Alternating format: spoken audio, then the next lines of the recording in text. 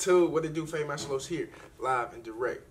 And today, he really wanted to cut it off. I believe this. He's serious. He wanted to cut it off. I'm gonna go ahead and show you the proper procedure when you're cutting someone's dreads off. But before I go, make sure you click that like, that comment, and also mm, subscribe. It's Fade Master Los here, live and direct. Let's.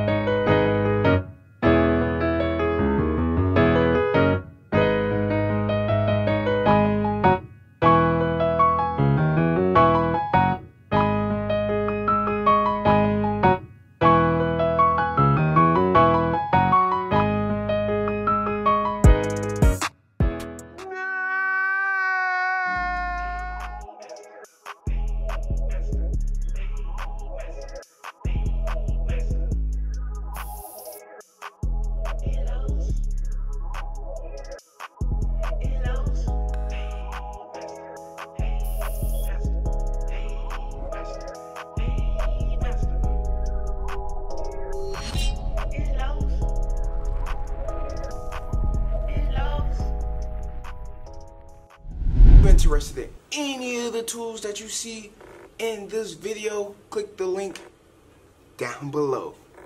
The best tools you can get.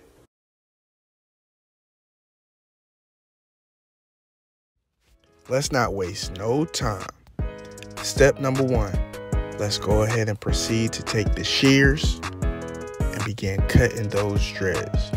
Now for me, I typically like to store all the dreads together. I don't like to just let them drop straight on the floor. That's just preference for me. I feel like when a person's been growing their hair for such a long time, kind of want to just kind of be a little neat with it, keep it, possibly give it to them in a plastic bag.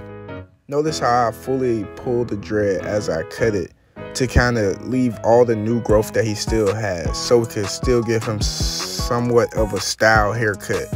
Now, I've seen some people just go straight in with clippers and just cut it straight all the way off, but I don't necessarily recommend that. Next, once you cut all the dreads off, I like to take them to the wash, the shampoo, because there's typically a lot of buildup once a person had dreads for a lot of years.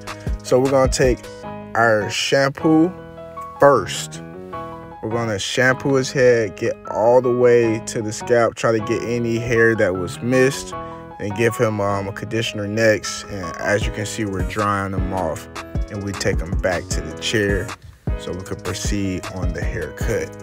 Now, I know those steps might seem simple to some, but that is a very proper procedure when cutting someone's dreads. You're gonna take the shears first, not the clippers. Then you're gonna give them a good wash and then condition their hair to get it back to that right pH balance. And the third step, the final step before cutting, is to take a blow dryer and a pick and begin to pick out any hair that might have not been combed or might have not been cut, making sure that the clippers have free motion when you begin to cut.